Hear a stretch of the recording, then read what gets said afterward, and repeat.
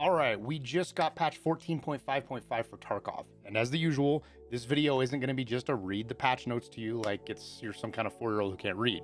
We're going to go through them. We're going to talk about what they mean, what they change more specifically, and any kind of hangups with it. Now, the big one here everybody is worried about is crab walking or silent crouching or sneaking or whatever you want to call it. And while the answer to this is pretty cut and dry, there's a ton of nuance here, and I want to get into the deeper details so we'll do that a bit at the last part of the video because I want to go over the simpler things and get all that out of the way and get it done. If you don't want to hear that stuff, it's fine. I get it. I'll throw chapters in there so you can skip right to the part you prefer. But because I'm doing you that favor, how about you do me a favor and give me a like on the video, maybe a comment down below. Helps me out. And uh, since you're skipping the video anyways, or maybe you are, uh, that kind of hurts me in the algorithm and a like kind of pays for that and helps it out.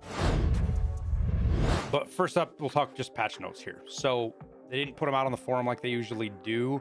This is a tweet patch notes, which I don't like these, but it is what it is. Um, first up is the optimize the algorithm of AI spawns at the start of raids. This change seems to have made it to where the packet loss bug for bosses where you know if a boss spawned you didn't get packet loss and you knew the boss was on the map this seems to be uh, set to fixing that i haven't seen it myself everybody i've talked to um, seems to agree that this fixed it and patched it but it might not have I don't want to say it's a rock solid thing till we get a couple of days in and people are 100% sure it had. But I think this address that's what this was addressing. Along with that, it seems it may have done a little bit more. Um, I've been hearing tons of folks tell me that they feel like AI scavs are acting way different mostly centered around them just being more aggressive or how fast they aggro and stuff like that. But this could just be typical rumor mill mumbo jumbo. Again, this will take a couple of days to figure it out, but just keep that in mind that that might be going on.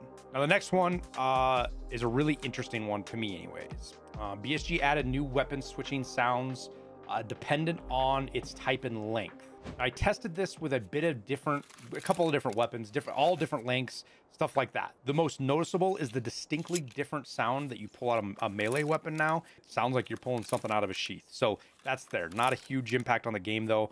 Um, I do wonder if Tagilla makes this sound when he pulls his hammer out. I haven't checked that out. So if you know that or if you hear it, let me know. It'd be funny if he makes like a sword sheath sound when he pulls out his sledgehammer. Now, weapon length does have an impact on sound, at least to a certain degree. It's really hard to flesh this stuff out because there's a couple of different things. But there was about a seven decibel difference between an eight slot shotgun that I brought in and a two slot pistol.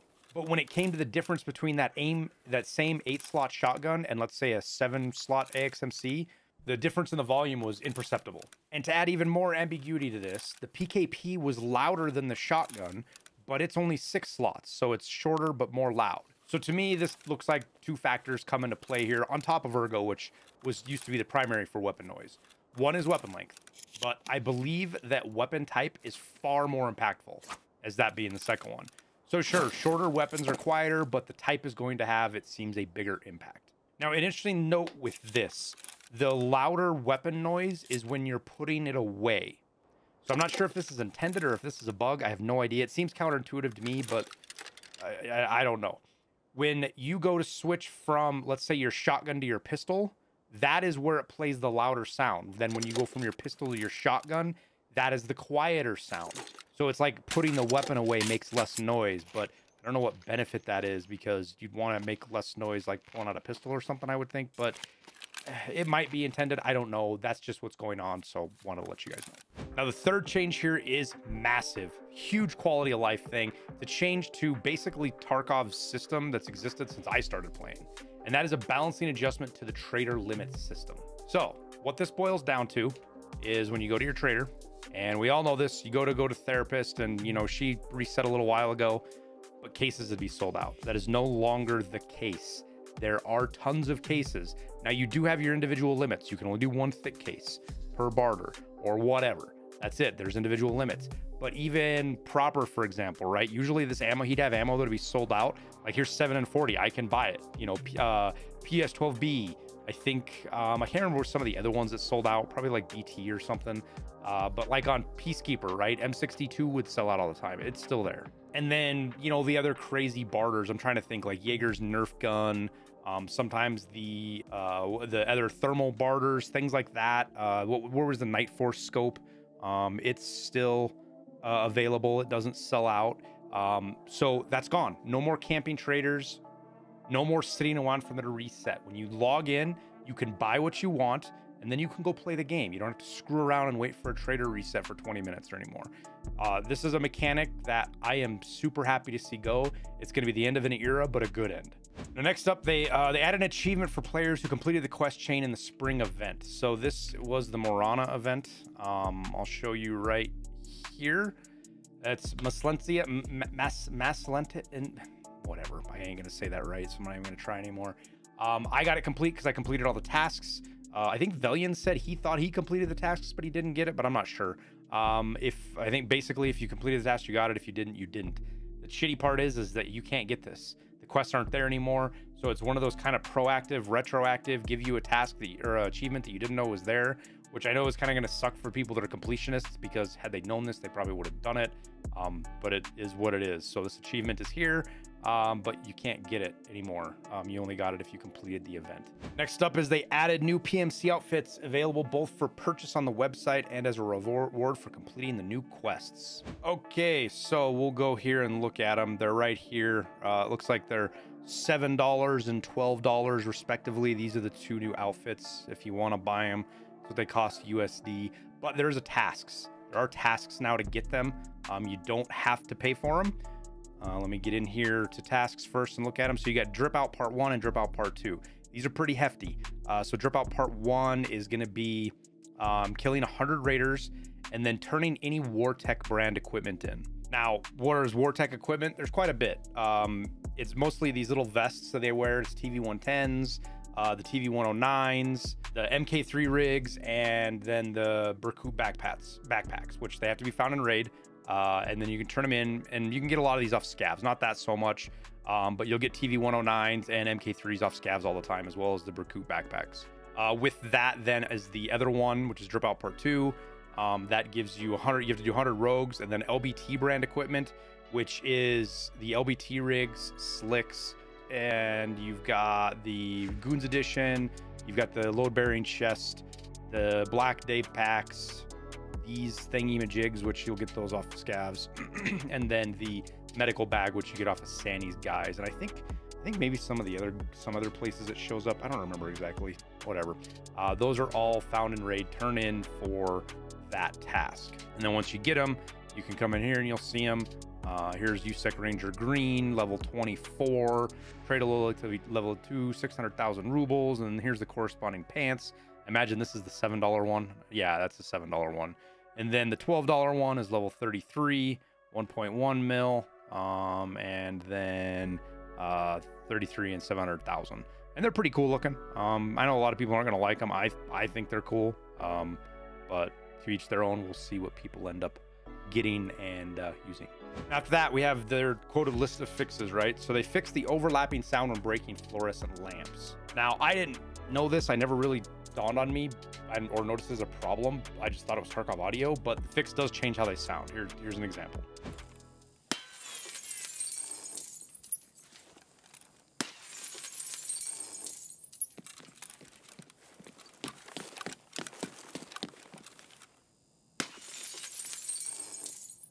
Now that's better in my mind. Up to you, I guess. Uh, small change, but it's there.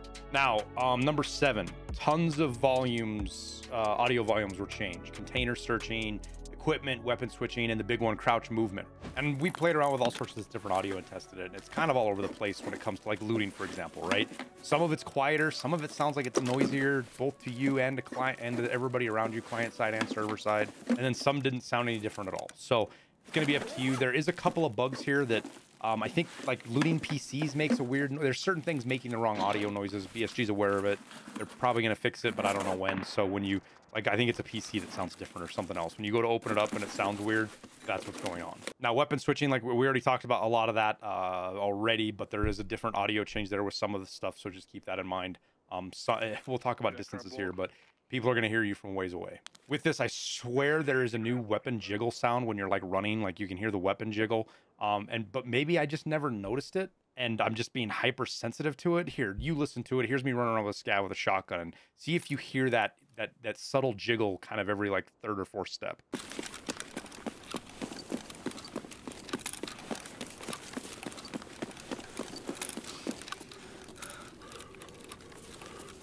Okay, now the next bit goes back and forth a ton from wipe to wipe. So I'm not sure exactly what changed, what didn't, but I wanted to throw this in there because we checked it. That way folks know what's happening right now, regardless if it changed or not. So when you change a scope zoom, there is an audible click, right?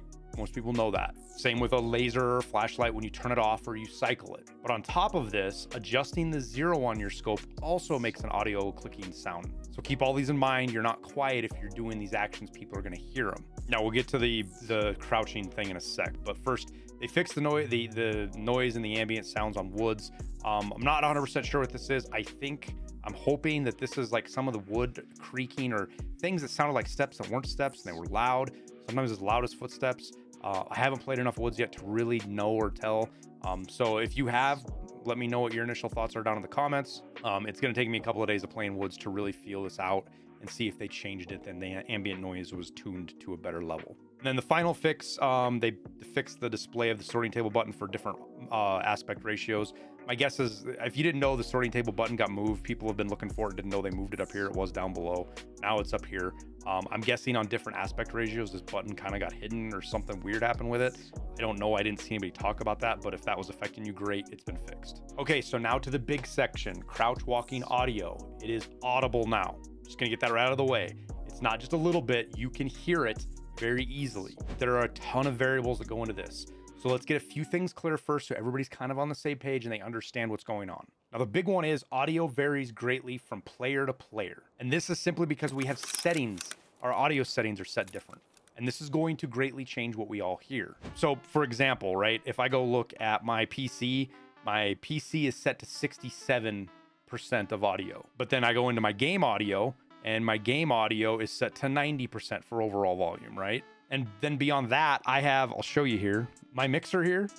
I have that, it's dialed down now because I was playing a different game, but that's dialed down normally to 88% when I'm playing. So, and that's not it. That's not everything that changes it. We also hear audio, at least distance, assuming it's working properly, a little bit different based on our perception strength. You know, perception right here, it tells me my hearing distance is increased by 10% and that's from the base game. Now you mix in things like ambient noise on different maps, positioning, uh, you know, your uh, your IRL headset quality, what headsets you're kind of wearing in game. All of these are going to lead to us basically having potentially different results. Some of them we control for, some of them we can't. Now, Hayes and that friendly guy did some already did some testing. So let me bring up what Hayes put in here because I liked it and it saved me some time. I didn't have to do it either. And there's differences between our testing. I cross-checked some of this stuff. Um, I didn't go to the detail of the different headsets he did. I did different detail, but I know people are going to ask about it. Um, for example, Hayes closest he could hear someone crouch walking at minimum speed, under weight, with ComTac fours. Boy, that's a lot. Was 35 meters. Now the closest I heard was 34 meters, while the friendly guy reported hearing people at 43 meters. So 35 34, 43. So that means you probably will hear something different than us. Maybe some the same, maybe somewhere in between. Uh, it just shows you there's going to be variability out there. Now, again, I'm going to do my best to get ahead of every question on here I can think of. But if you do have one, throw them down in the comments and I'll do my best to answer what I can. If there's something I missed or there's something you want to know about that I didn't cover. First off, we'll talk about which headset is best. This comes from Hayes' testing because that's what he focused on. Um, but I know it's going to come into here, so I want to get it out there. Uh, he's got them in order here: ComTacs, RACs, XCELs, TAC Sports, Razors, M32s, GSSHs, and ComTac 2s. And yes, there's a 10 meter difference between ComTac 2s and ComTac 4s, the bottom and top. Now, to add to this list, I tested without headsets, and that is 21 meters. So even without headsets on, you can still hear someone sneaking around 21 meters away from you. That is a substantial distance. That's not a short distance. Now, there is a difference between crouch minimum speed and max speed. Max speed crouch walking was 43 meters. Um, so like if you're you're crouched but you're all the way full speed, you can hear them at 43 meters. This is with ComTac 4s. And this didn't seem to change between, um, at least for me, green and yellow uh, weight sign. So if you're looking at your character screen down here where it says 27.2, the difference between, you know, how it's yellow now that and green. That didn't seem to make a difference, at least right at the lower end. But red overweight is audible at out to 42 meters. So there is a difference. And I didn't we didn't do a ton of testing to really dial it in, but there is a difference um, in how heavy you are. It's not like green, yellow, red have these three different audio things. There's a gradient between as your weight increases, how far away you can hear somebody. Now on the low end between naked and yellow, there was it was it was maybe a meter or two. It wasn't major, but the difference between um what you see like the like I was saying for ComTac fours, right? When you're yellow crouching versus red crouching was 34 meters versus 42 meters. There is pretty much everything in the middle of that based on weight. So the heavier you are in yellow, the further they're going to hear you away. So what I said before about there not being a difference between green and yellow isn't really right. It, I meant that as right as the transition between green and yellow. You're not suddenly louder because you are overweight. And that was the case a long time ago. So some people might have that in their mind. That's why I want to be clear there. It is a gradient that the heavier you get, the louder you are. Now, the crazy thing is walking and running is pretty much essentially the same. Um, I'm over here looking at my goofy spreadsheet. Uh, green walking, like if you're green weight and you're just walking around, I can hear guys at 78 meters, again with ComTac 4s. Sprinting was only 79 meters. It was only a meter further. And that could just be some error in the damn uh, the rangefinder or how we were looking at it. Because it's kind of hard to tell exactly where somebody's at when they're running around or where the audio kicks in and out, especially at that distance.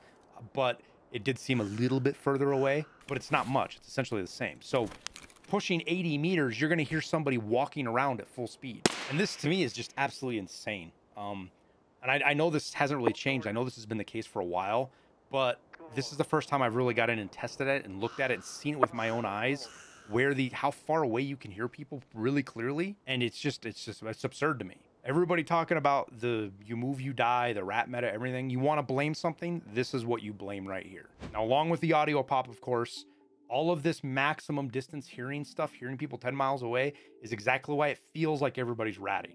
It's not because everybody's ratting, it's because they can hear you from damn near 100 meters away. And what is the first thing we all do when we hear another player?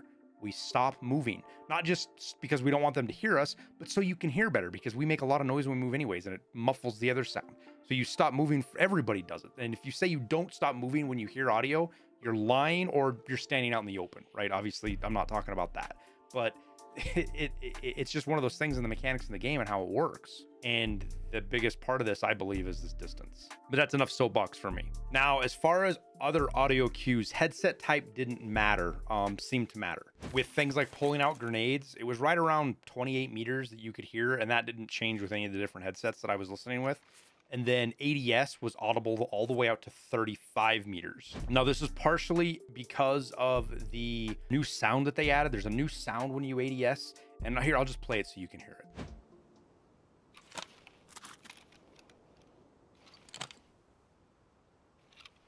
And that's really what I was hearing at the further distance, uh, and that's what I was keying off of.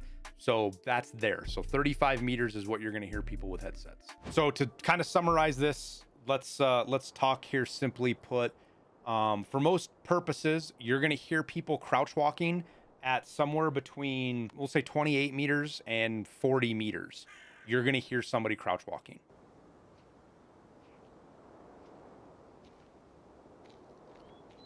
Period. It doesn't matter what they're doing. And then running, it's going to be between like 60 and 80 meters uh, or walking walking and running, you're going to hear people at 60 to 80 meters. That's when their sound's going to first come in. So that's kind of the long and short summary of that whole thing. So that's it. That's the new game. Um, personal take on this, I don't know yet. I think that where we're at right now with these changes is better than completely silent crab walking, but I don't think it's a good place. So both of those can be true, right? I can think we're better than completely silent crowd, uh, crab walking, but not think that this is where we should be. So keep that in mind. And if you disagree with me, I'm not going to argue with you and tell you you're wrong. What is going to dictate whether you like this change completely depends on how you like playing Tarkov. I'm a streamer, I play a lot, I like things happening on stream, I like action, I like fighting players. For me, this is going to make it more likely it's going to happen because people aren't going to be able to sneak away from me. They're not going to be able to just sit still or kind of creep, I say not sit still, but creep around in a building and me not know they're there. But if you're somebody who only plays, let's say you're somebody who plays like four or five hours on a weekend at most, right? And you just want to get in and do tasks and you want to avoid players, this is going to suck because you're not going to be able to avoid people. You are going to have to fight or stay perfectly still, which is almost never a good idea because you can't position for a better angle. You can't get behind cover. You're usually just stuck somewhere. So that's my opinion on it. That's where I think about it. And if you disagree with me, that's awesome. I don't disparage you for that. Uh, you're free to do that. And my opinion might change. This is a day into the patch. Let me play it for a week or two and really get a feel for how this changes, how the game plays. Because that's, that's what it's going to take. Anybody telling you they can tell what's going on right now is full of shit. Nobody knows how this is going to change the player base. Nobody knows what everybody's going to do yet. It's all assumptions. And it's going to take days, if not weeks, to really feel this out and see where we're at. So I'm looking forward to that, to see what this changes. For me, what I would want, I think ideally, is one, just overall sound audio, make it much less. I don't know if you want to cut it in half, maybe that's too extreme, but hearing somebody running at 80 meters or 90 meters is just dumb. And then hearing somebody sneak at 40 or 30 or whatever it might be, it just doesn't make sense. Dial that back down to like maybe 10 or 15. I don't know. Let's test it. Let's figure out where it works. Let this run for a couple of weeks, feel it out, see what it is, and then hopefully we can get BSG to tune it from there. But that will remain to be seen. But we'll wrap it up there, I think. As always, I want to thank you guys for watching. Don't forget to go check out my music down below. It's mine. It's really it's not really a sponsorship. I just like giving it a shout out. Uh, it's free to listen to, but it still supports us. We do, you know, ad revenue through Spotify and stuff like that. But it's also free for content creators to use. You can use it in your YouTube videos or your streams. You don't have to worry about DMC cop, cop or DMC takedowns or copyright strikes. It's not what we're about. We created this for the community. All we ask is you attribute us, and that's all that, that needs. That way people know where to find it if they like the music. We got a new album. It's really good. It seems to be everybody's favorite. So make sure you go check that out down the link below. But that's it. That's all I'll yap about. Again, appreciate you guys watching. I wish you the best of luck in your raids, and we'll see you in Tarkov.